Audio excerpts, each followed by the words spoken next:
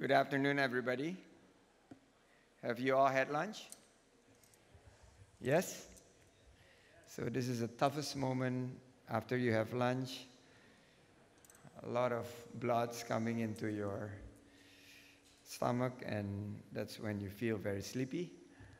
But uh, it's also uh, going to be a good challenge for me to make you entertain. So first of all, uh, I would like to uh, thank DealStreetAsia uh, and Nikkei for inviting me. And uh, I would like to uh, congratulate the Private Equity and Venture Capital Summit, uh, which is now in, some of you are still wearing masks, some no longer wearing masks. I'm half, halfway because I'm still carrying just in case uh, there are the need to, to have the mask on.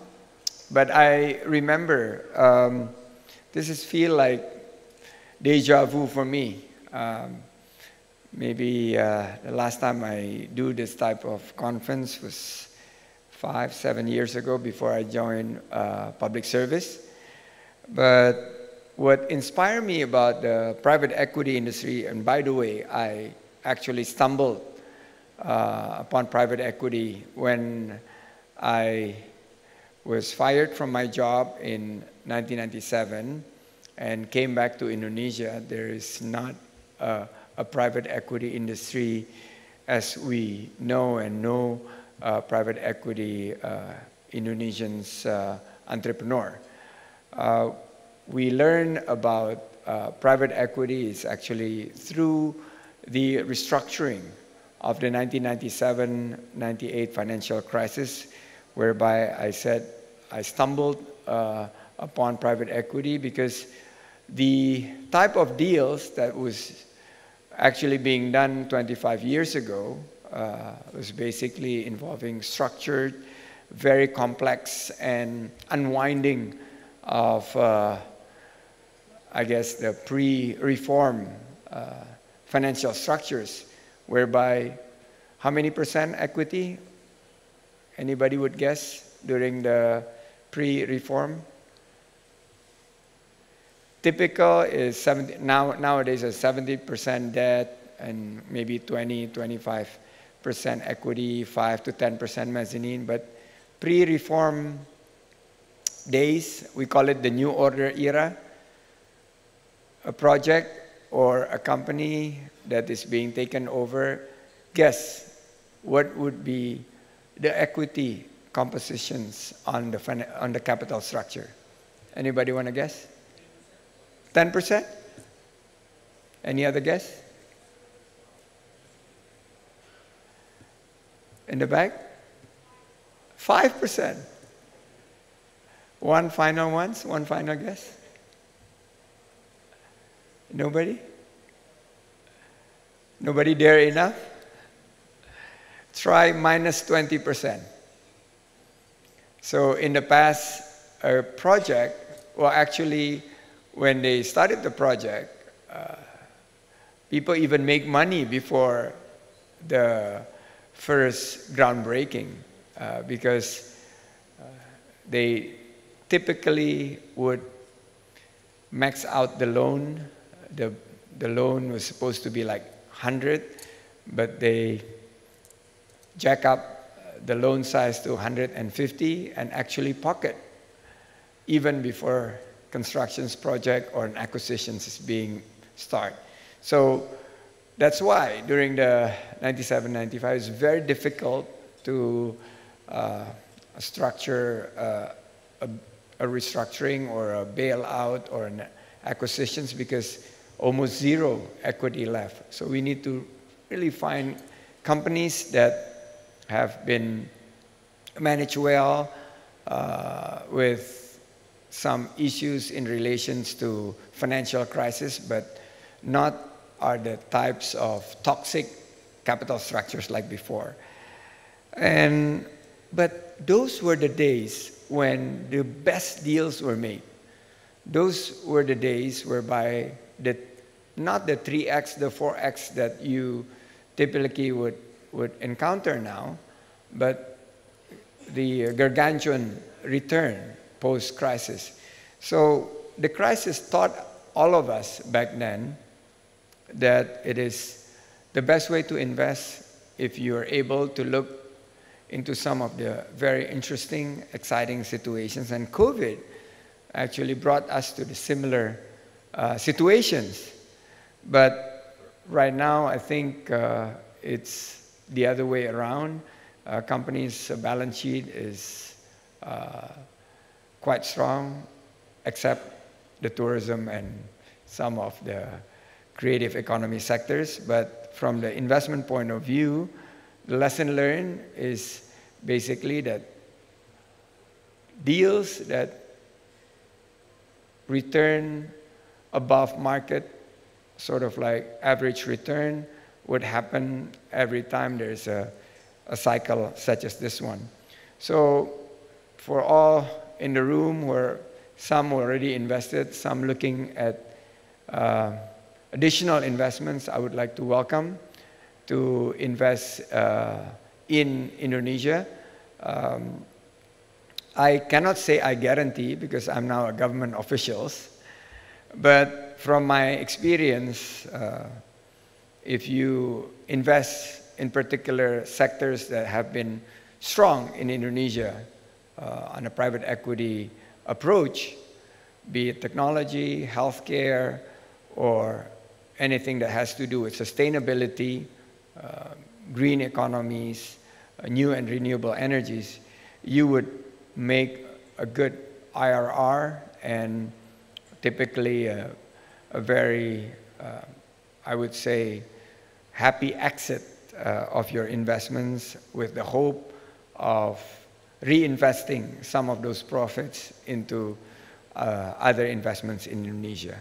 So maybe I, I think that's, that's where I uh, left, and some are very familiar uh, faces here in the crowd, uh, but some also are new to private equity space.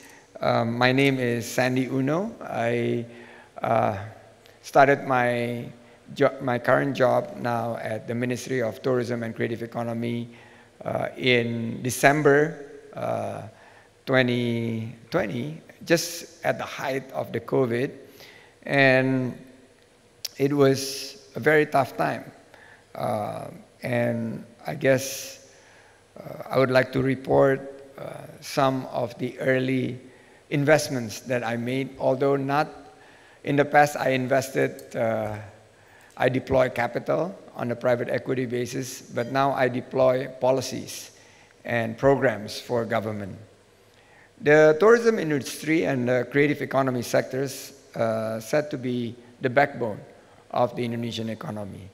And uh, I would like to introduce to you the five super priority destinations that we have and represented here uh, let me take uh, a poll uh, here. How many of you, please raise your hand if you have been to Bali? Wow, almost 100%. Okay, these are the five super priority destinations that I'm promoting also to Pa Andi and many are friends at DealStreetAsia and Nikkei. How many of you have been to Danau Toba? Wow. I'm surprised. 20%. How many of you have been to Borobudur? This is amazing. 65%. How many of you have been to Mandalika in Lombok? Wow. Less than 20%. Uh, this one should get a good reading. How many of you have been to Labuan Bajo? Wow, not that many. It's very beautiful. You guys should, should visit Labuan Bajo, 25%. Now, the final one, how many knows about Likupang? One, two. Okay, the one from the back. Tell me which kabupaten. Which region is Likupang from? North Sulawesi is the province, yes, but the kabupaten. Somebody said correctly, North Minahasa. Please give a big hand to this gentleman. Because he is part of the only 10% of Indonesia that knows Likupang, where is Likupang, and whether it's a, a super priority destinations. So these are the five super priority destinations we have invested I think close to 5 billion US dollar in the last uh, four years, building infrastructures, building um, connectivity uh, in these five super priority destinations to help us promote beyond Bali, because 50% plus of Indonesia's tourism uh, basically concentrated in Bali. How did we do in 2022? I'm a perennial optimist. But I was even surprised how well we did in 2022.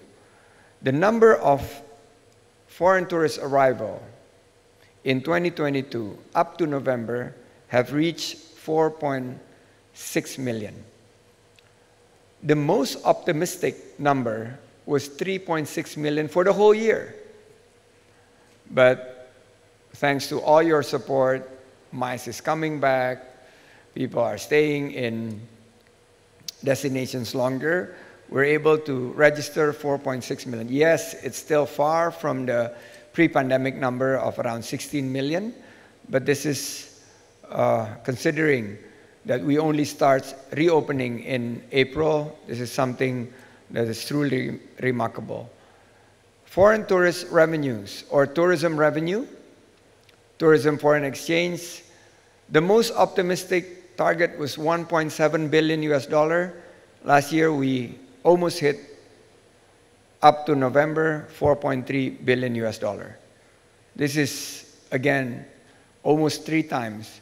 Either we're very poor in planning or forecasting, or we are uh, too pessimistic, or we're just simply have been very lucky to be able to hit this number. The creative economy exports have almost reached 25 billion US dollars. Before pandemic, we never come close to 20 billion dollars. So this is a very strong performance with the value added nearly 1300 trillion rupiah. So with this number, we are very, very optimistic how 2023 will look like. We believe 2023 will be able to hit the most optimistic number of foreign tourist arrival at 7.4 million, with tourism revenue close to 6 billion US dollars, creative economy export up to 26.5 billion US dollars, and the value adding close to 1300 trillions, making up that we're number three in the world now in terms of contributions, percentage-wise, of creative economy into the GDP. The GDP, anybody could guess how many percent uh, of the GDP contributions that the creative economy sectors have contributed the last three years?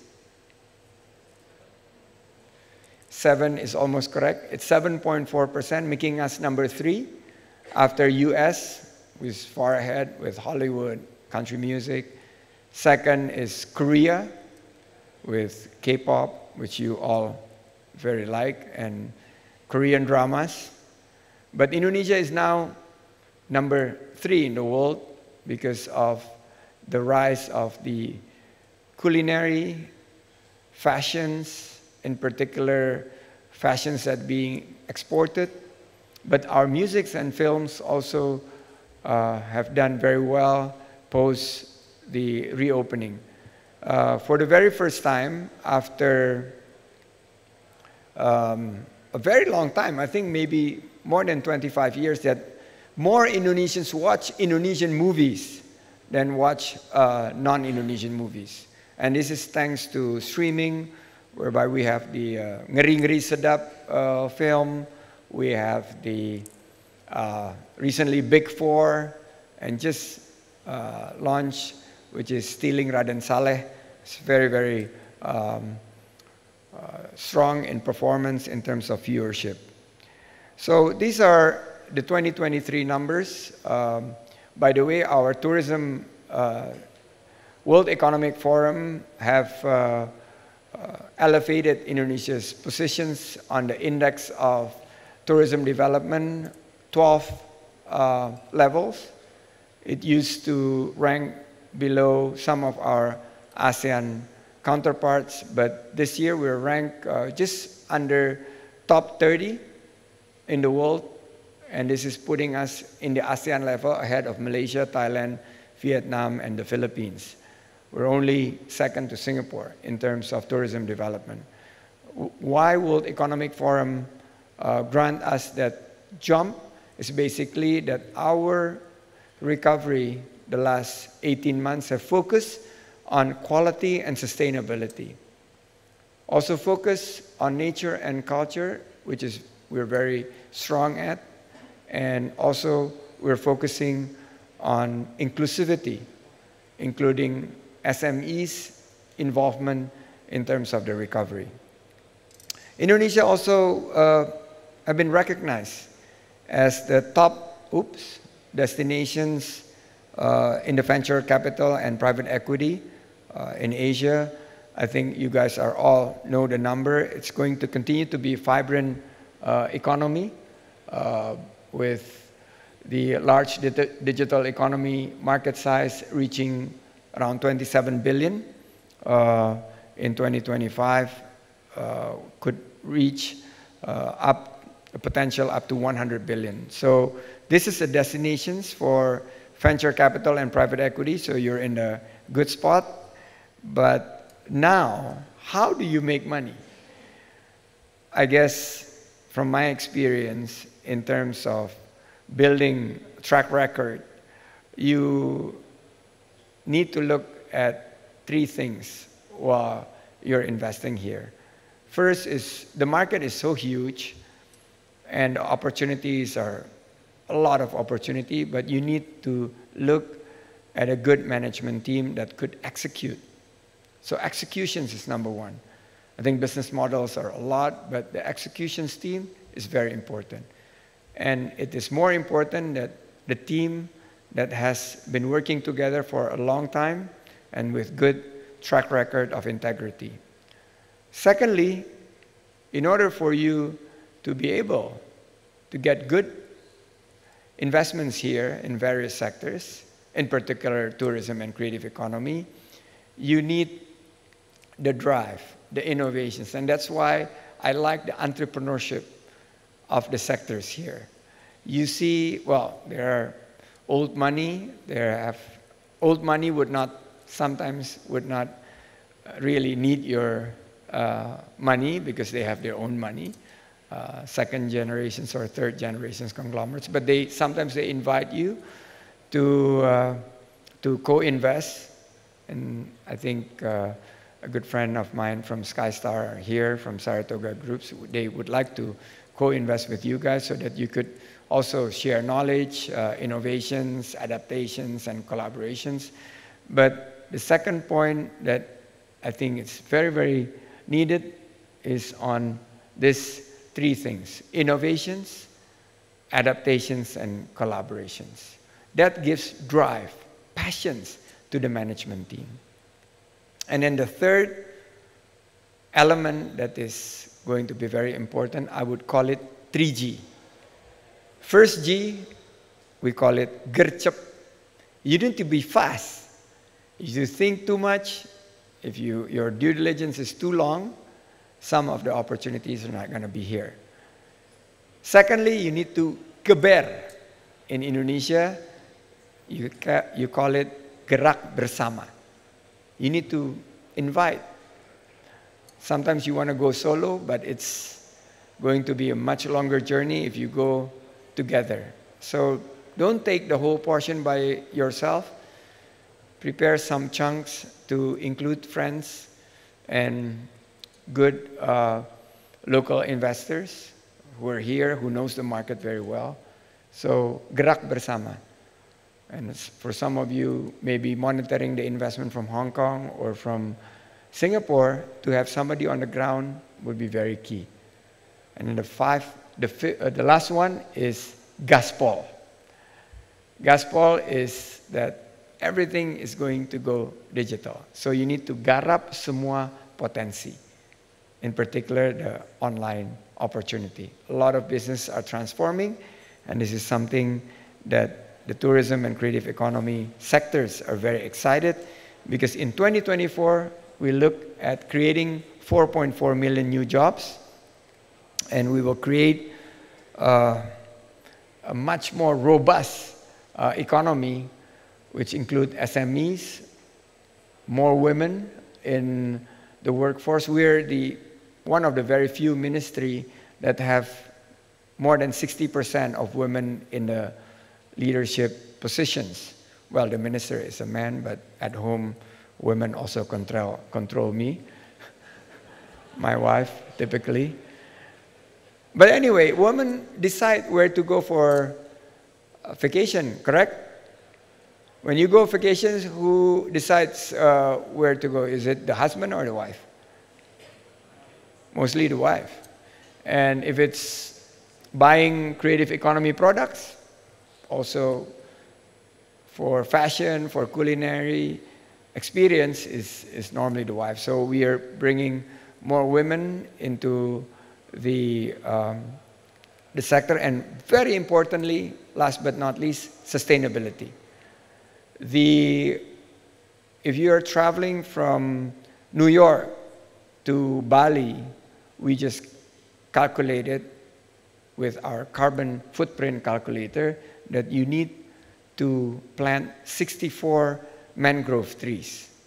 So we are having collaborations with Jejak.in from uh, the Gojek ecosystem, Gojek Tokopedia ecosystem, together with uh, some other uh, collaborations with Traveloka also to compensate, to offset your carbon footprint. So this type of new tourism uh, product is being heavily marketed and have enjoyed good uh, outcome, uh, a lot of interest, especially from the millennials, and uh, is also going to reshape the tourism industry to go more eco-tourism, personalized, localized, albeit smaller in size. I'll stop here, and maybe if you have questions, I'll invite Pa uh, Eddi, uh, maybe, or somebody else to moderate. Thank you very much. Wassalamualaikum warahmatullahi wabarakatuh. Happy investing and good luck. Thank you so much, Minister, for that keynote. And of course, I'd like to invite Minister to take a seat to join us for our fireside chat right now. Coming up, we have a very interesting fireside chat titled Leveraging the Soft Power of Tourism and Creative Economy to Generate Alpha. And to help us moderate this, let us welcome on stage the Chief Executive Officer, BNI Ventures, Eddie Danu Saputro, please. Let's give him a round of applause. And there he is. Without further ado, Eddi, over to you. Thank you. Uh, good afternoon, everybody. Uh, I have the pleasure to moderate a session, a fireside, fireside chat with uh, Pak Sandi, uh, Mr. Minister. Yeah. Um, I'll be asking several questions. We'll have a dialogue, but we have some time at the end uh, for questions from the audience. And uh, so raise your hand, or I think the, the organizers can, can facilitate on how you can submit your questions. I'll be giving some uh, uh, gifts for those who ask questions from, from myself. Uh, I'm, for example, the first one who, who asks a question for Prime Minister. I'll give a, a trip to Bali uh, using a wooden kayak uh, from, from wherever you are. Uh, and so you can get to see the, the, the coastline, you know. Okay, it'll take you maybe two weeks to get there or more, but it'll be a fun, interesting trip. So again, thank you for the keynote, uh, Pak Sandi. Uh, I have several questions. Actually, I had a lot of questions, but DealStreetAsia said, no, Pak Eddi, you cannot ask this one, no, cannot, this one cannot, cannot, choret, choret, choret, yeah. So uh, it's a mix of uh, questions as a minister, and hopefully I can ask some questions also, Pak Sandi, as an investor, yeah. Karena I hope that side of you is still in there somewhere, yeah. Yeah. Uh, As long as you don't ask questions about politics, I'm fine. Okay, okay. Maybe some stock tips, maybe. Uh, But you are offering uh, gifts to the questions. How about the one who answers? Any gift from BNI? of course, of course, we can we can arrange. uh, okay, first question. Um, I guess Pa uh, Sandi was humble. Uh, his his official title is the Minister of uh, uh, Tourism and Creative Economy. Okay, what? Not everybody knows that within the creative ministry aspect, there's correct me if I'm wrong, Pa, 17 subsectors.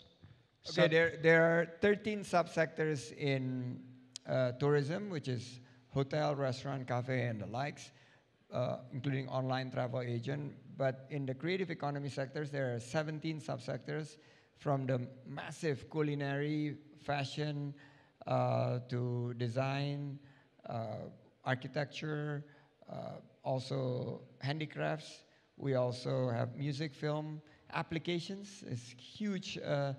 Uh, digital economy is under us.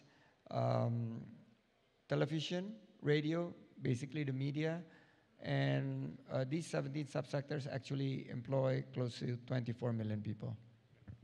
Wow. Uh, so those are a lot of sectors. Uh, my question is, how do you integrate all of them? They're all, how do you avoid them uh, going their own path without collaborating, without integrating? And some are, are very, uh, for lack of a better term, from, some are very old school. Some are very traditional, like handicraft, uh, uh, batik manufacturing, and some are very digital, like gaming. Uh, is, is, and some maybe overlap, some cannot overlap or do not overlap, and uh, how do you integrate all of that?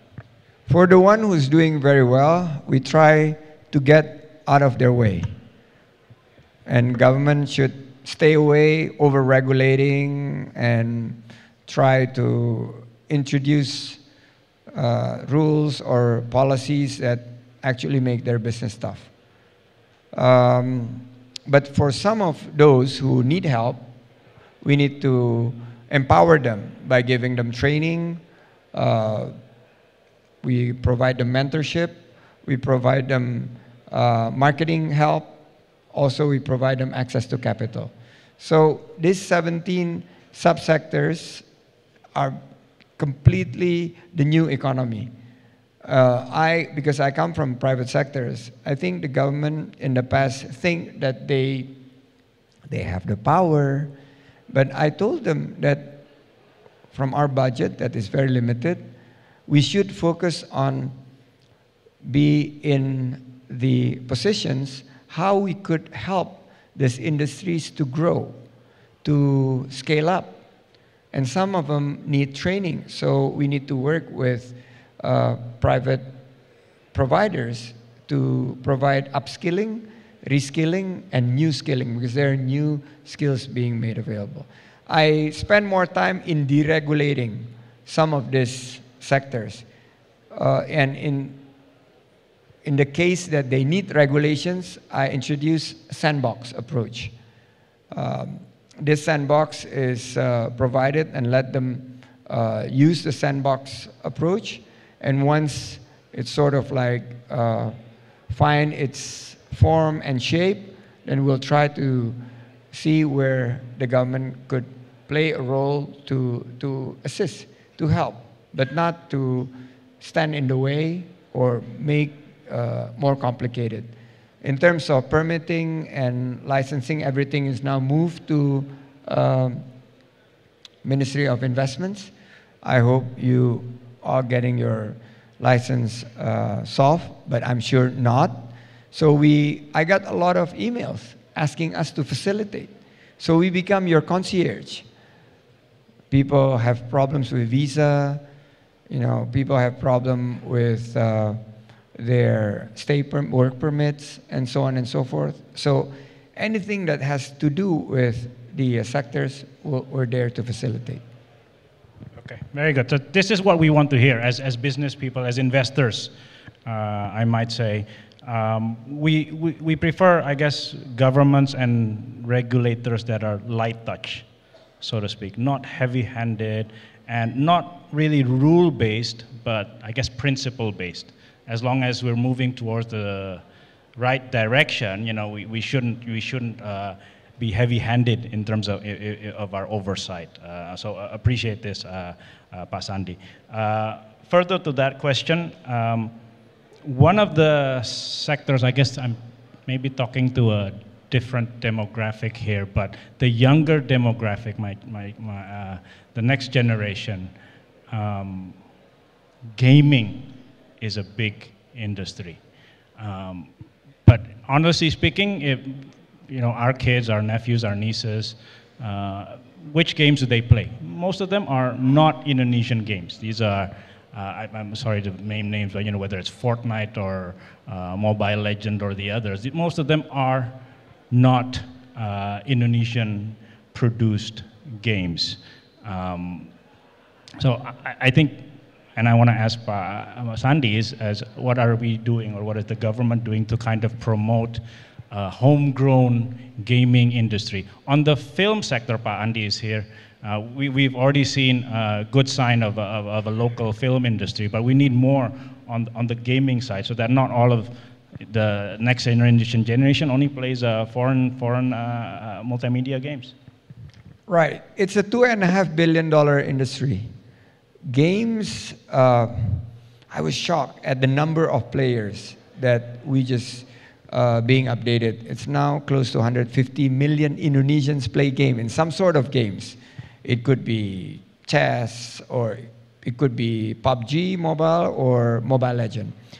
In the last seven days, there are two major gaming event here. First is the PUBG Mobile uh, Global Championship in GI Expo that streamed close to three and a half million concurrently. Uh, and I just opened the M4, this Mobile Legend um, championship in Senayan that runs for more than eight days, that attracts, I think, concurrent view close to uh, four or five million, and we have two Indonesian team qualified. Um, I also see that some of this, on the, if you look at the economics of the gaming industry, 99% actually flew out of the door of the Indonesian's uh, economy because of uh, the uh, games. But there's also uh, jobs that is being created here, like streamer, caster, team owner, and the player who make a lot of money. But some of the gam- gaming revenues, uh, I think majority will go. So my task, uh, and this, the president uh, felt that the gaming industry, because it's close to the Gen Z and Gen Millennial uh, uh, demography, uh, we need to do something. So last year, I got an instructions to start a review. What type of uh, presidential uh, decree legislations can help local game developer to achieve because it's very high risk this game developer, um, and you guys would only invest in some of the uh, probably uh, the proven ones, uh, the Lokapalas, the uh, Satria Dewa, and uh, most recent uh, Battle of Guardians. But this needs to be fixed by way of providing an ecosystem that governments could also provide assistance for local game developers to uh, be able to reach uh, a stage where the venture capital would come in and invest. So we're focusing on that. The legislation is uh, being uh, uh, right now formulated. The second um, initiative is uh, an entity that focus like B, we call it BLU, Badan Layanan Usaha, which is like a government entity that provides uh, so-called uh, equity or more like a, a, soft loan on a uh, revolving basis to provide um, to the ecosystem, to the gaming ecosystem, uh, in order to help getting more allocations or percentage of this fastly growing industries, and Indonesia would, would benefit by way of tax revenues or creating good quality jobs. So I'm part of the esports industries, uh, and last year we won the World Cup of esports in Bali. Uh, we won the, I think, Mobile Legend or uh, PUBG. So uh, this is also something that uh, bring uh, a lot of attention because it comes from the sports uh, arena as well. And every single weekend we will have gaming events, and this is also good for an event-led recovery. So these are what we are doing with the government. I'm sure it's going to be uh, it's going to need a lot of collaborative efforts with with the industry. Excellent. Um, Sandi, you play also esports? I I don't play that well, so I enjoy more watching than playing. I play simple uh, games from the old years. That is still my favorite, like the the Tetris and the. Anybody still play Tetris? It shows the age. Oh, still in the back. Thank you. We could play Tetris together. Okay. Actually, actually, I challenge Pa. I'll challenge Pa Sandi. Uh, as a fellow basketball enthusiast, we play NBA 2K or maybe FIFA. NBA FIFA. 2K, yes, I can play a little bit, but I play better uh, uh, on on one on one. So Okay. yes, Pa Eddi, we could we could do one on one. Yeah, challenge accepted. Uh, okay, so Pa Sandi in his keynote speech uh, mentioned about the uh, top five uh, tourist uh, destinations, uh, Bajo, uh, Bali, uh, Lombok, uh, Likupang ya, tadi terakhir ya. I think you already invested there, yeah, that's why you know the answer, yeah, you're for, for, forward looking, yeah, okay. Uh, now that's on the tourism side. Now on the creative economy side, does Indonesia need a destination for talent, like a Silicon Valley or Bangalore type of uh, location. Uh, some are already homegrown, are already uh, uh, propped up, uh, like uh, uh, Jogja, Malang, you know, several places, right? But do we need a, a place where, you know, local talent, developer talent, coding talent, and startups and investors can congregate?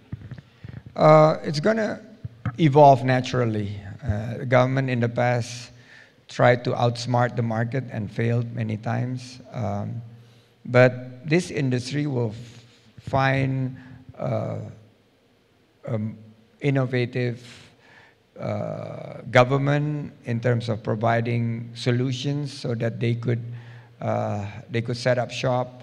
Uh, I think Canggu has been number one uh, nationally, and I think globally number two in terms of bringing all these digital talents.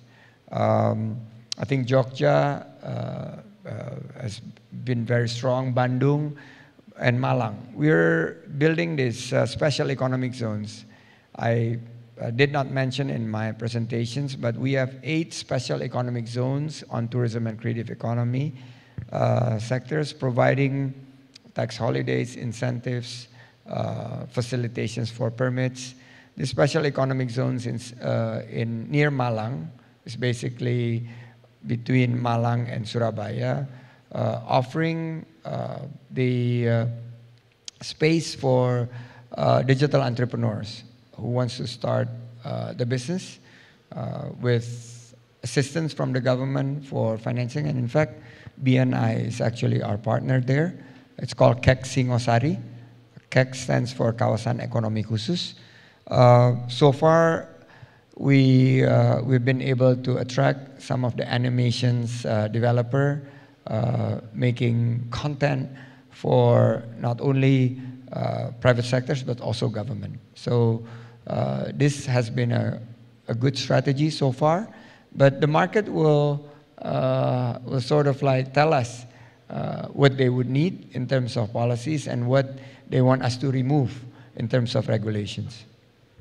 So you have to trust the market. It has to be organic, uh, and, and and I guess uh, it'll flow uh, naturally. Yeah. Okay. Um, moving back to the uh, tourism uh, part of your portfolio, um, you're targeting, Indonesia targeting what, 7.4 million foreign tourists coming into Indonesia this year? 7.4 million foreign tourists for this year.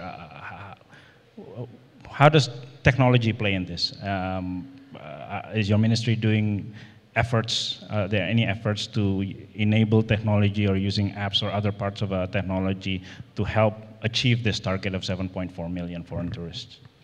Technology plays such a huge uh, role in achieving even last year's number because all of our marketing and promotions now are using technologies. We're doing targeted and segmented, and sometimes when you watch your Korean dramas, wonderful Indonesia pop up, uh, that's using the, uh, the latest uh, technology in terms of trying to catch from interest to convert to actual travel, from look to buy. So uh, this is something that we have been developing with our uh, partners in terms of how we could get the type of tourist that stays longer. In the past, people come here, 16 million plus, most of them do Rohali. You know what Rohali stands for? Rombongan hanya lihat-lihat. So they come here, they just look see, look see, um, not uh, they, they spend three to four days and go back with limited impact to local economy. Now I need to convert them to become rojali. Rombongan yang jajan-jajan dan beli-beli produk ekonomi kita. So, so we need to engage them with technology because most of the travelers are the, uh, from the younger demographics and they are guided by, by uh, their applications, by their uh, mobile devices. So that's from interest. Length of stay. In the past, they come here three, four days because they are not being offered. Right now, when they arrive uh, and check in, we work with partners. Uh, we're able to offer them a Bali and beyond because typically 50% of them come through Bali and when they come to Jakarta, we will be able to offer them so that their length of stay now is actually grow from just three to four days now nearing 10 days. This is good impact. So even with the much lower number of tourists, the quality of our tourists were able and were able to be increased by three times and that's why you see the tourism revenue. Because I come from your part of business, from investments. I look at the dollars. If I get 16 million tourists, but the dollars amount, the tourism revenue is not strong, then I'm not going to be able to uh, show a good KPI. Because every single tourist will have a, their impact to the environment. So if their impact to the environment is not compensated by their impact to the local economies, then it's, it's going to be, a, uh, I would say, a, a, lower quality type of recovery. So this is something that, that we're doing. Technology plays a huge role uh, in destination management, in sustainable tourism practices, Technology is everywhere. It's 360. Uh, even, I would say, uh, right now, because the average age of the, minist- uh, the ministry workforce is also very young, that we are moving into a lot of uh, technology breakthrough. For instance, uh, this is something that I'm going to ask you. This technology help us, and this is by way of help from our data. Please tell me what would be the unfulfilled demand by tourists in a particular destinations, let's say in East or in Yogyakarta. Unfulfilled demand in terms of tourist attractions? Any guess? We thought that they would be looking for nature. We thought that they would be looking to see culture or the temple. But technology and data shows us that they actually want water park. So we're guiding the industry, invest in water park because this is unfulfilled demand. On the creative economy, economy side, culinary, when you're in Yogyakarta, what do you think would be the unfulfilled demand? What type of food? Any guess? Technology and data actually shows that tourists want sushi.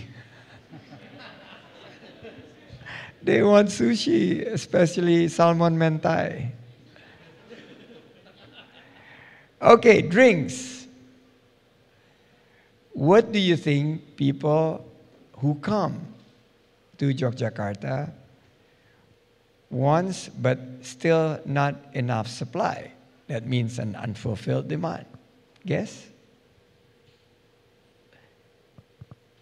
So this data was guiding us all the way, and we've been telling the industry this is what you need to invest, this is what you need to look at. So majority of the people who visits Yogyakarta actually wants boba drinks. Not chendol, not dawet, but boba. So these are the type of uh, technology being applied right away, and we're guiding the industry. We're, we're making sure that they, uh, they got this. And I said, data is data. Data uh, will not be able to deceive you, but it's for you to take opportunities. Thank you, Pa Sandi. Uh, actually, time is up, but uh, I would be remiss if I didn't uh, uh ask some of questions from the audience. I'm going to combine several of the questions quickly, uh, Pa Sandi. Uh, one, a question from the audience, what is the government doing in terms of uh, helping uh, investment uh, into this tourism and creative economy sector. for example, access to loans, tax breaks, what is available for, for the players currently? Basically, it's the special economic zones, the eight KEKs, and we're adding one more uh, special economic zone in Bali. So these are the areas where you can get your tax breaks, you could get uh, uh, a lot of facilitations from the government. Uh, you could you have the land. Some of the issues in relations to tourism and creative economy have uh, basically dealt with the land availability. This is going to be provided by the government, and through this eight special economic zones, we're also able to provide tax holidays. Excellent. Uh, Thank you, uh, Pak Sandi. Uh, on behalf of everybody in the audience, uh, thank you for the time, not only the keynote speech, but uh, uh, the, the, discussion. We learned a lot today, and hopefully uh, all the investors here, private equity, venture capital firms, you know, we see this sector specifically as a very promising sector. Thank you. Thank you very much, and good luck investing in Indonesia. Thank you so much once again to our Minister of Tourism and Creative Economy for Indonesia, Sandiaga Salahuddin Uno, for joining us this lovely afternoon. And of course, thank you as well to our Chief Executive Officer for BNI Ventures, Eddie Danu Saputro, for moderating that session.